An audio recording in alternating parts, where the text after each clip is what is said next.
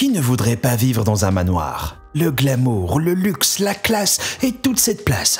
Malheureusement, la plupart d'entre nous pourra jamais en acheter un. À moins de savoir où chercher et d'être prêt à supporter des situations inhabituelles et parfois quelques colocataires indésirables. Voilà des manoirs que vraiment personne ne veut acheter.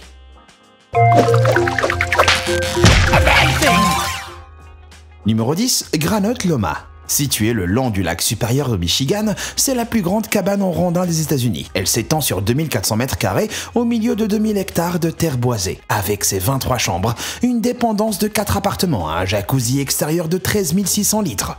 Et sa marina privée, elle a été construite en 1923 par Louis G. Kaufman, cofondateur de General Motors.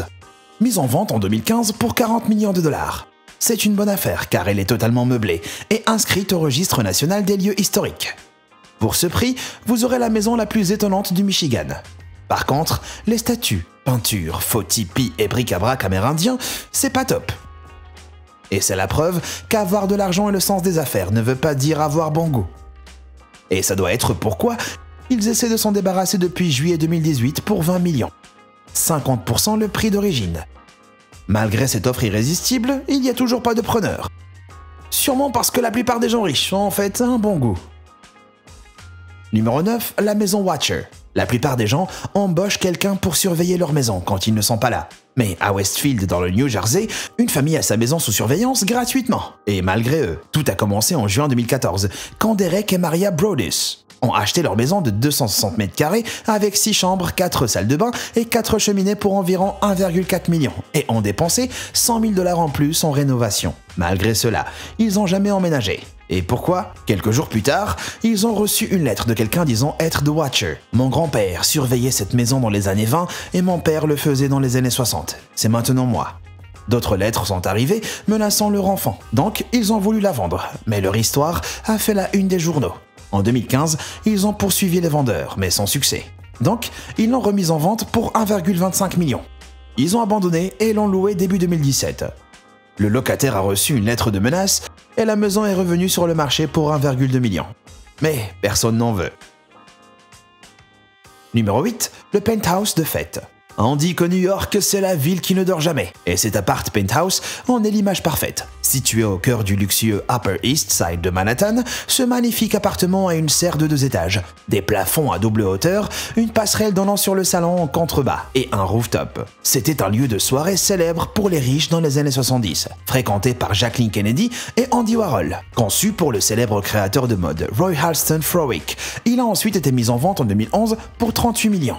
Depuis, son prix est tombé à 24 millions. Et il n'y a toujours pas de preneur malgré une remise de près de 37%. Pourquoi? Eh ben Halston, mort du sida, avait des goûts intéressants. Il y aurait emmené des prostituées de sexe masculin et les faisait manger du steak comme forme de préliminaire. C'est bizarre, mais il s'est pas arrêté là.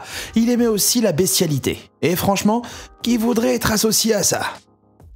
Numéro 7, l'historique Montclair House. Voilà le bon plan du siècle. Une superbe maison de 362 mètres carrés, avec 6 chambres, 3 salles de bain et demi et 3 cheminées. Située sur près de 1 hectare de terrain. Elle a été construite en 1906 par le célèbre architecte Dudley S. Van Antwerp et appartenait à Aubrey Lewis, le premier capitaine de football afro-américain de l'université Notre-Dame, qui est devenu le premier afro-américain à devenir un agent du FBI. Ça explique pourquoi elle est protégée par la commission de préservation historique. Et tout cela peut être à vous pour seulement 10 dollars. Sans rire. Alors ok, ce prix d'achat ne concerne que la maison, pas le terrain. Et même si elle se trouve dans la magnifique ville de Montclair dans le New Jersey, vous ne pouvez pas vivre dedans parce qu'ils vont construire 8 maisons sur la propriété. Donc la maison est à vous pour 10 dollars, si vous êtes prêt à la déménager ailleurs à vos propres frais.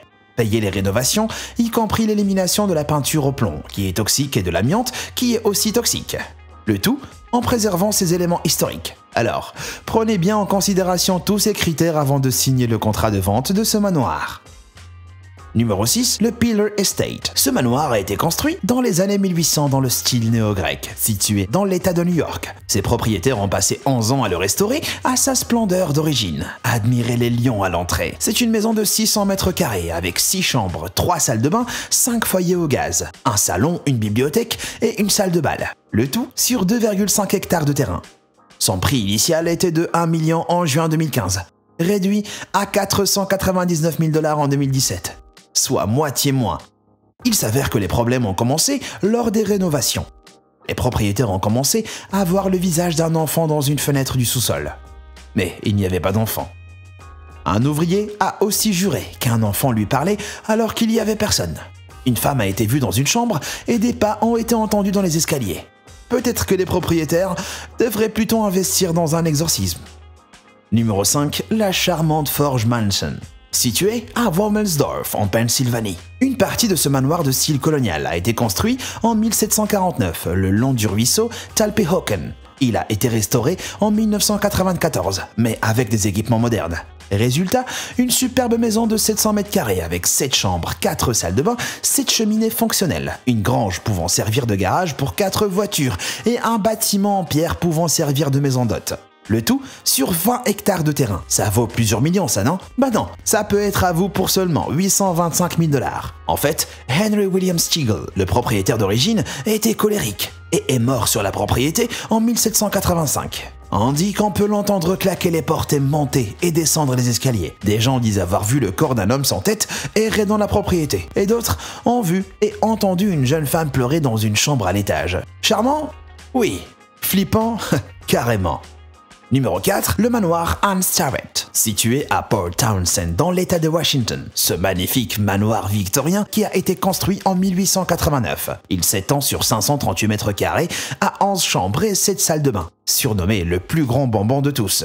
Il se trouve sur une colline du quartier historique surplombant la ville, avec une vue magnifique sur la baie et le détroit. Il a été construit par George Starrett pour sa femme, Anne. C'était l'amour de sa vie, et il a jeté son argent dans cette maison, qui a été amoureusement préservée. C'est devenu un hôtel, qui a reçu 4 étoiles sur Yelp, jusqu'à sa fermeture. Mais il n'a pas de prix, comme personne ne veut l'acheter. En fait, les Starrett, et peut-être certains de leurs employés, sont toujours là. Plusieurs personnes ont vu une femme aux cheveux qui se promène dans les lieux. Apparemment, Anne, elle ne serait jamais seule et toujours aperçue avec un homme, qu'en pense être Georges? Si c'est vrai, alors ils sont clairement toujours amoureux l'un de l'autre et du manoir. Romantique, mais qui veut d'une maison avec des habitants morts?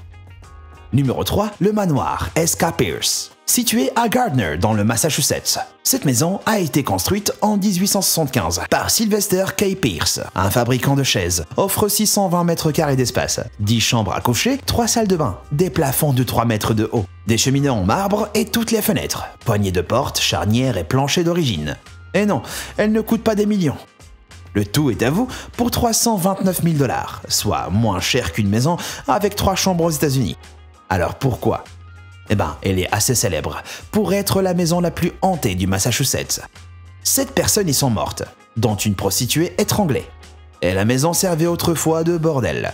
Ajoutez-y un petit garçon vu dans une fenêtre, un serviteur errant dans les couloirs, des voix désincarnées et des choses qui bougent et vous avez un manoir hanté qui a figuré dans des émissions sur le paranormal. Une équipe de chasseurs de fantômes aurait enregistré des voix disant « serre chaque gorge », ce qui pourrait expliquer la prostituée et son caractère indésirable.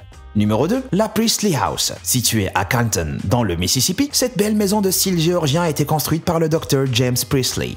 Elle a quatre chambres accessibles par un grand escalier avec une cuisine d'époque, quatre salles de bain, une salle à manger, salle de musique, salon, bibliothèque, bureau, porche pour dormir, piscine, terrasse et serre. Le tout en parfait état pour un demi-hectare de terrain. Elle est idéalement située à côté du centre de Canton. Après de grosses rénovations, elle a reçu un prix en 2010 par le Mississippi Historic Trust pour sa restauration. Et elle coûte combien? À la base, 938 000 dollars, mais comme il n'y avait pas de preneur, ça a baissé à 850 000.